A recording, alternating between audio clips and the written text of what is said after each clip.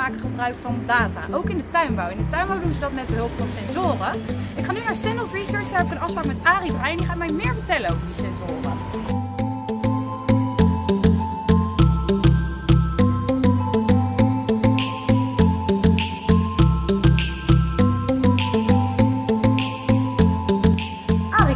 Vertellen over Research?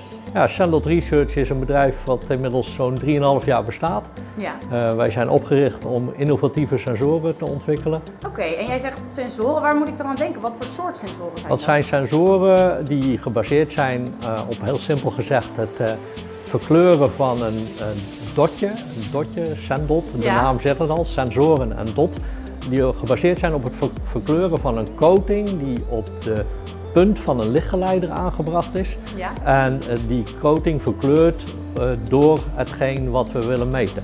Dus we hebben een sensor voor zuurstof. Simpel gezegd verandert de kleur van die coating door zuurstof. En op die manier kunnen we dus zuurstof meten. En wat kan je daar dan mee als je zuurstof gaat meten? Nou, zuurstof is bijvoorbeeld in de tuinbouw een heel belangrijk eh, parameter in het wortelmilieu. Ja. Wij weten eigenlijk dat eh, vooral in de substraatteelt eh, zuurstof in het wortelmilieu eigenlijk eh, bij volwassen planten in de zomer, als het het meest belangrijk is, echt heel laag is. Als we dat probleem ehm, op kunnen lossen. Daarmee zou de plant beter presteren, eh, eh, beter eh, bestand zijn tegen ziektes, weerbaarder zijn tegen Ja. ziektes.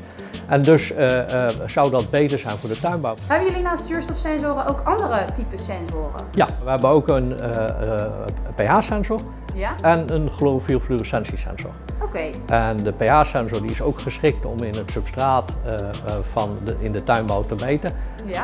Eh, de chlorofielfluorescentiesensor kan je zien als een soort eh, hartslagsensor. Je meet daarmee eh, aan het chlorofiel, het bladgroen van de plant. Ja? En daaruit kan je destilleren eh, hoe de plant zich voelt. Het is een soort hartslag zeg maar, van, de, van de plant. En wat kan je daar dan bijvoorbeeld op bijsturen? Je zou daar bijvoorbeeld de belichting op bij kunnen sturen. Je ziet dat de belichting toeneemt, maar de chlorofielfluorescentie niet toeneemt. Dan weet je gewoon, de plant kan niet meer doen met het licht wat ik hem aanbied.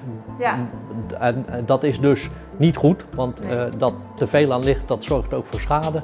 Dus moet ik of meer gaan schermen of gaan krijten of nou ja, wat voor maatregelen er ter beschikking staan. Nou Arie, hartstikke bedankt. Ik denk dat het nu een stuk duidelijker is wat je kan met zo'n sensor.